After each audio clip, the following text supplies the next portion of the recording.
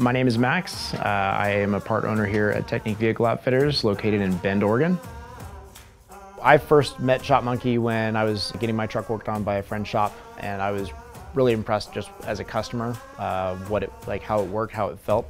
And when I started working here, was my first question was, well, what are we going to use to communicate with our customers and, and kind of work on uh, you know the, the back end of the shop stuff. So we started integrating Shopmonkey into what we were doing here because it it's enough to give you the tools that you need to be efficient, but it's not overwhelming. I've dealt with software before where there's so much that in order to maintain and everything else, it's, it, it kind of becomes a burden.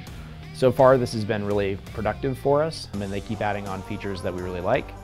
I'd say probably the biggest thing I can say about ShopMonkey so far has been the customer service side of it. And my customers love the fact that they get text messages, updates, uh, the messaging system's really nice and easy and keep them up to date, send them photos, and then they can approve stuff as we go along with the project. It's been a really great tool and, and it's something that we plan to continue using for, you know, there's no time limit at this point, forever.